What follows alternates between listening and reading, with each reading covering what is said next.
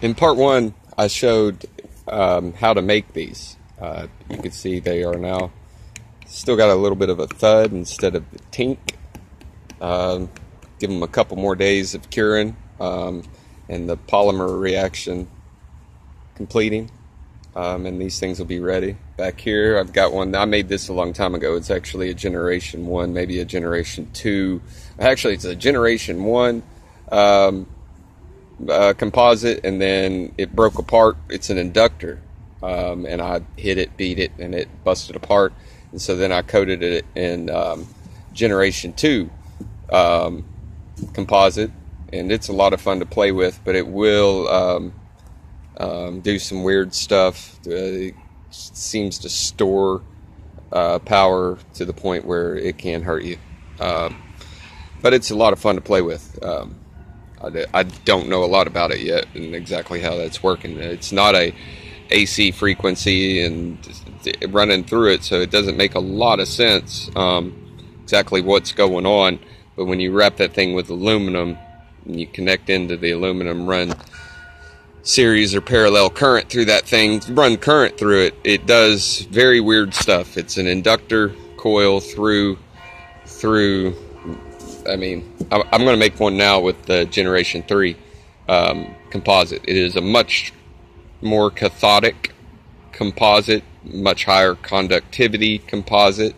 I, I, I don't know. Maybe when I said that it's a much more cathodic much more cathodic composite, it's actually that may actually be a lie, but this is much more uh, conductive, um, which is the reason that somebody like me would accidentally say that it's more cathodic.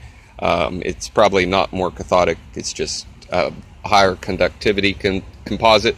Uh, graphite is one of the most cathodic substances on Earth. I think it's right next to diamond, and then no, no metal is above it. You can use these to turn pretty much any metal into a primary battery. Um, you can also use them to turn pretty much any metal into the anode of a rechargeable battery. Um, aluminum works great. You can then take two of these, one of them being that becomes the anode, one of them becomes the cathode, and just charge directly between them. Um, and I've got some Generation 2 over here that um, I've been doing exactly that. This piece of aluminum, so you can see it looks like a little cesspool. Well, it is. It is. Um, uh, there's coffee in there. There's a little bit of milk in there. There's a little bit of chlorine in there. There's a little bit of salt in there. There's a little bit of sodium hydroxide in there. There's all coffee. I may have already said that. Oh, cereal. You know, high calcium cereal. Um, bread, high calcium bread. And this thing, so right now, what you're seeing right here is there is no aluminum in this cell. It's just two ExNube composites for the anode and three ExNube composites for the cathode. And this thing is awesome. It, it's, it, it, but without that aluminum in there, it doesn't have as high of a voltage. So, but it will, with the aluminum in there, I can boost it. Sort of helps boosting up the voltage. Uh, it's, it's a very interesting cell. This is a study of its own. This one's awesome. This guy right here uses a very high grade aluminum. The pH of this water is, last time I checked, I think it's 7.2.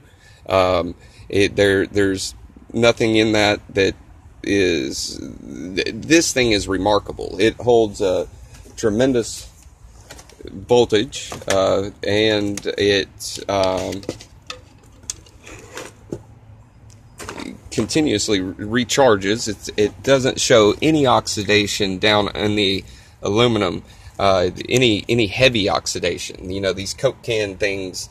They they they oxidize. They they turn to junk. They don't hold and they're coated in paint and and coke cans these things they're coated in all kinds of different stuff. So they they don't it's junk. It's trash. It's not supposed to it, it's just proves that it'll work on junk and trash. This is not junk. This is not trash. Um, it's getting dusty and dirty but it's aluminum that's uh, high grade and it is awesome. I pulled the end off of my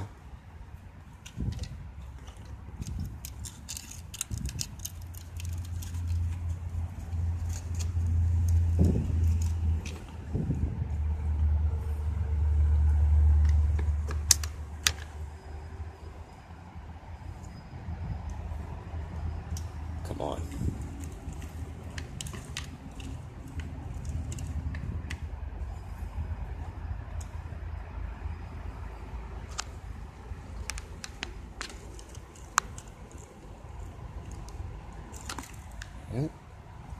It's uncharged. It's been discharging through that light for the last two days.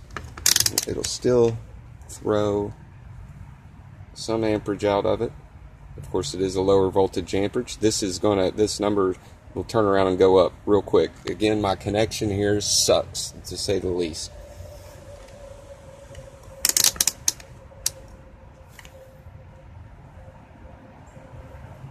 Now, I can recharge this.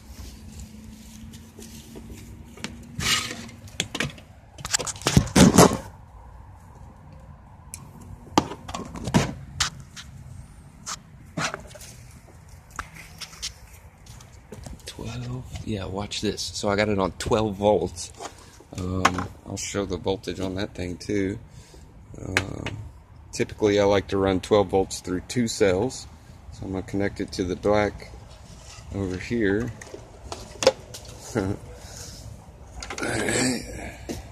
and connect the red over here. I'm getting uh, 12, 12 watts of power into it right now, approximately. It's showing one amp of flow through this. Now, I mean, I should let it charge for probably a full five minutes or something, you know, to get to get a, at least a watt of charge into it. But I'm gonna show y'all something here. I'm gonna take my charger off.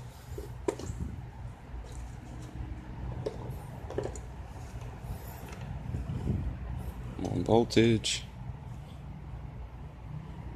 So now there's 1.27 volts across that cell.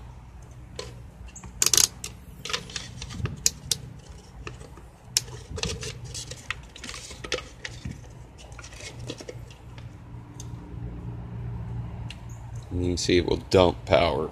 Uh, if I if I charge it longer, it'll start throwing half an amp. Um, and again, the pH of this is next to nothing. It's just salt and chlorine. That's all that's in that bucket is salt, uh, iodized salt. The iodine uh, definitely plays some sort of factor, and then salt in that one. The pH is seven. I'm looking for my pH meter. There it is. Just to show you guys. And I, I also want to see, you know, if the pH has changed. Um, you know, I charge, discharge, beat this thing to hell and back. Um, so here we go. Sorry.